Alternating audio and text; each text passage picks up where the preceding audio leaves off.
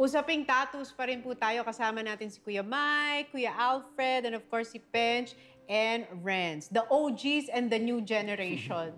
ano yung biggest challenge ng pagkakaroon ng sarili mong tattoo shop? Yung pinakaano dyan, pag may sarili ka ng shop, talagang dedicated ka na para operate yung shop mo. Talagang more on 100% tuto ka na dun sa, ano, sa ginagawa mo. Hindi na pwede yung katulad dati, parang hobby-hobby lang.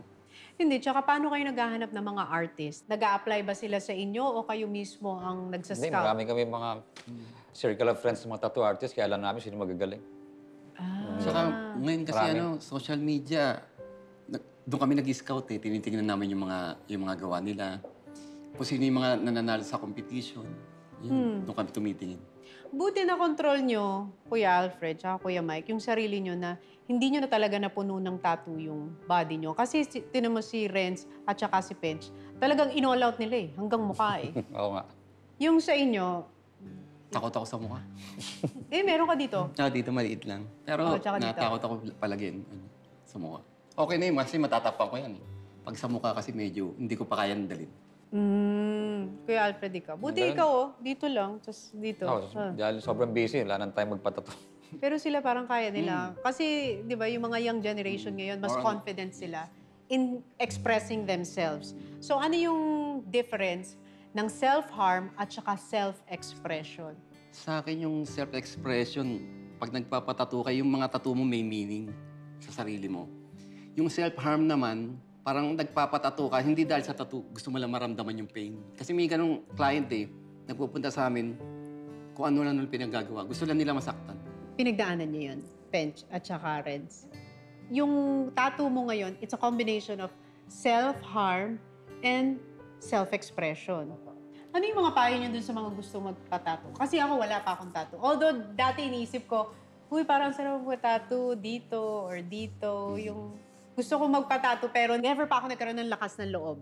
Ano ba dapat ang mindset kapag magpapatato ko, ka? ang lagi kong sinasabi sa kanila, think before you ink. Pag-isipan mo ng sampung beses bago mo pagawa. Ikaw, Kuya Alfred. Dapat mag, magpalalagay mo yung kaya mong dalhin habang buhay, hindi yung pagsisisiyan. So dapat, pag, pag-isipan mo mabuti kung nilalagay mo. Tulad sa akin, lahat ng tattoos ko spiritual. Eh. Kaya hindi talaga pagsisisiyan. Mm, may spiritual meaning. Yes, lahat. So ano natutunan mo sa journey nyo ng pagpapatato sa katawan mo? Oo, ano, magpalagay. Kagaya ko, may mga pinakover din ako ng mga names, ng mga Pasko, gano'n. Mm. Siya pala yun, nagpapalagay ng name. Marami, marami. ano yan eh, yan yung common na mga names. Di ba jinx yun minsan? Mm, Di ba sinasabi nila yun? Huwag mo i- Totoo. Di ba Totoo may yun. ganyan saying? Narinig ko na yan eh. Pag mahal na mahal Ano mo- yan? Sumpa. Pag pinatato mo, magkakahiwalay kayo. Sumpa. Oh, yun. Promise. Oh, natutunan. Ilang beses mong natutunan yan? Dalawa. Dalawang beses nagpatato. Hindi mo kailangan itato sa balat mo. Kailangan nakatato yan sa puso. Mm. Di ba? Puso talaga. Hindi mo naman kailangan ipakita eh. Mm. Kasi parang 'di ba yung tattoo parang it's a badge of ano, oh, mahal kita, ah, nilagay kita sa balat ko, masakit 'yan. Pero iba naman yung ginagawa dun sa panloob, 'di ba? 'Di ba? Iba. Learn from the mistake of bench. Ah, Kia, kamusta na ang mga pangyayari diyan? Tapos na? Patingin. Oh. Nice. Hindi na nga nagdudugo. Di ba dati parang nagdudugo? Maganda na mga Maganda. tattoo ngayon, ano? Maganda yung mga equipment. Ilang days yan na parang mamamaga. Na, di ba mag-ano mo? Kasi sugat yan eh. Actually, bal- ngayon, hindi na naman namamaga siya, Hindi no? na.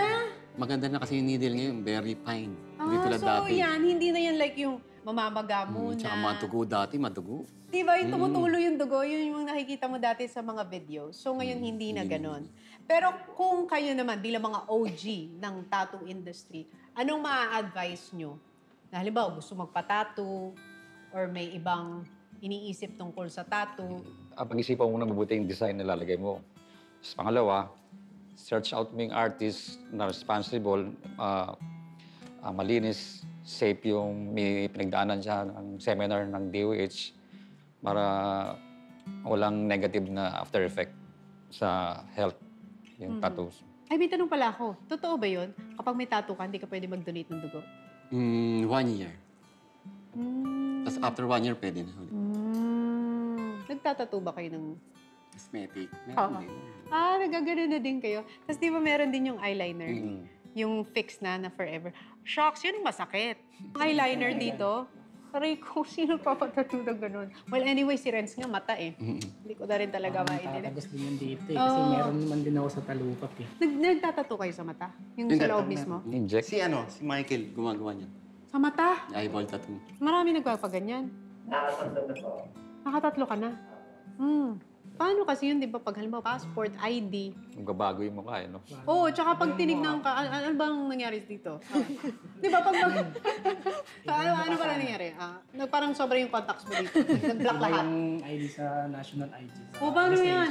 Pag sa lisensya, ganun. Okay na sila. Okay sila sa ganyan. Ah. Alam mo, yung pala ang sinasabi sa akin nung dati yung matatanda. Huwag kang magpapatato kasi pag matanda ka na, tapos kulubot na yung balat na. mo.